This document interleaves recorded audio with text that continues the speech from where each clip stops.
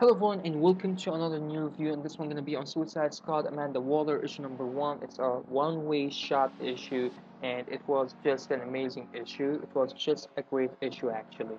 I really enjoyed it. They showed us the side, uh, you know, the bright side and the dark side of Amanda Waller, which I really love. You know, uh, now I have a different opinion on Amanda Waller after I read this issue.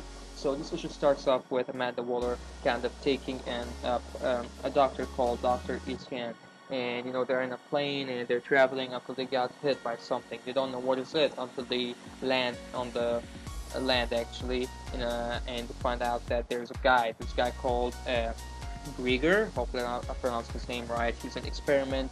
Uh, you know that was actually carried out by Dr. Etienne, and he, he wants a revenge on him because he destroyed his life uh, he can't touch anybody without burning them or even hurting them.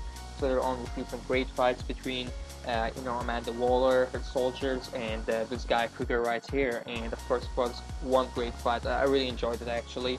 And uh, finally, after they saw the weak point of him, uh, you know, they kind of escaped and uh, she almost sold every soldier she got until she, you know, found the band that had some family in it. And, you know, she was like, uh, she sent one of her colleagues in the band and she just took out Dr. Research kid so she can actually end it with uh, with him and uh, Krieger. So later on we see her actually sacrificing herself, well almost sacrificing herself by planning uh, some kind of a bomb on the body of Krieger. And the moment uh, you know it exploded, he actually absorbed that heat and that energy and he couldn't move anymore for a while. So Amanda Waller took the chance and she just shot him and she killed him. So in the end of the issue was uh, really good. You know, we had that quote from uh, James Allen. It was a good one. I really liked it.